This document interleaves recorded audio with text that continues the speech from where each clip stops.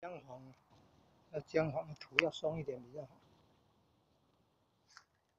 这个是芒果，这是芒果。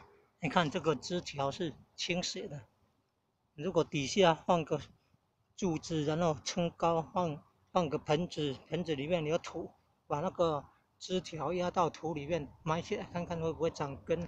如果有长根，就培育一一颗新的了。压条培育法。